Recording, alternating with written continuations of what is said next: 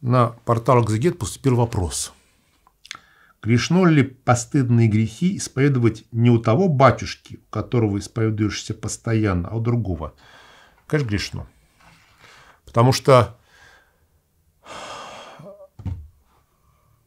ты кому исповедуешься? Богу, не батюшке отнюдь. Батюшка все лишь недостойный свидетель. А почему ты не хочешь исповедаться, ну, так, условно говоря, своему батюшке? Тебе стыдно. Батюшка тебе будет плохо думать. Он будет не так тебя ценить. А это что значит? Значит, батюшка заслонил тебе Бога.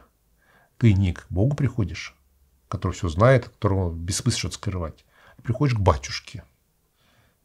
И значит, тебя уже в твоем отношении с Богом, вот это покаяние перед Богом, оно будет уже ущербное, несовершенное. И ты с такими грехами уже не так легко расстанешься. В этом смысл, что значит иметь своего батюшки. А зачем свой батюшка, если он тебе не помогает? Ну, это не твой батюшка. Это твой батюшка, то там батюшка, который ты ходишь, эти последние грехи говорить. Получается так. Это как, знаете, к врачу. Вот у меня есть любимый врач, вот, э, такими болезнями, такими я к нему хожу. А если чуть серьезненько, я тут так а другой, чтобы его не расстраивать. Ну, это смешно же. Это не, не твой врач. Вот, поэтому, а потом, знаете, священники, как священник, э, они же чувствуют, когда их так, знаете, обходят. То есть, так же, как, так, знаете, недоверие. Это вообще такие уже не христианские отношения, а такие душевные, плотские, языческие, можно сказать, священника. Значит, вы просто в него священник уже не видите. Вот он ваш друг, ваш знакомый, вы цените его мнение, но он для вас же не священник. Все, вы можете от него после этого уходить. Если вы не можете ему исправить свои грехи, вы можете от него уходить, потому что он вам пользу уже не приносит. Идите к тому, кого вы не боитесь. Поэтому вот привыкая к священнику как к человеку, в том смысле, что вот вы уже в нем человека только видите, цените мнение,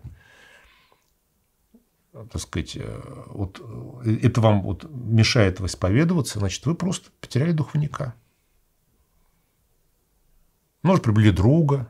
У меня мой духовник сказал одному своему хорошему знакомому, сказал, слушай, мы с тобой друзья, ищи другого духовника. Я сам, этот человек, воспоминания оставлял, там написал это.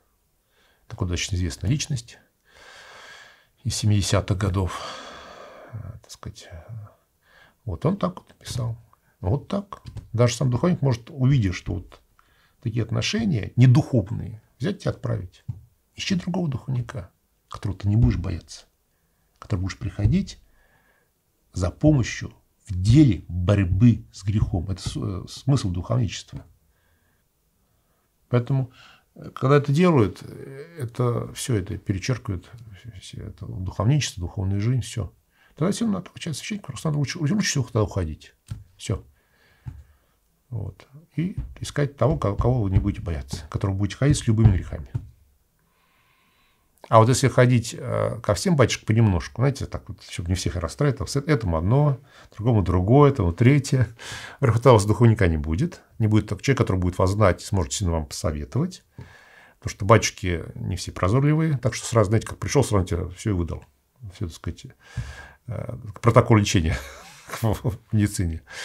Вот. А все-таки человек должен с тобой пуд соли съесть, чтобы тебя узнать и знать все твои такие моменты, да, что тебе можно, что нельзя, там, сладкое можно, соленое нельзя, и наоборот, ну так это, образно говоря. Вот. У тебя не будет просто духовника. Вот. И, вторых, опять же, это потворство своей гордости, потворство неверию во Христа.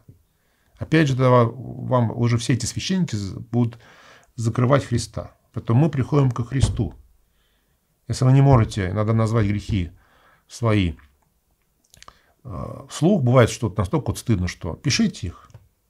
Вот я знаю, что вот люди некоторые не могут, берут записку, прочитать не могу просто произнести. Ну, вот так заранее написал, дал, или там напечатал, дал, уже как немножко психологически легче. Но это нужно.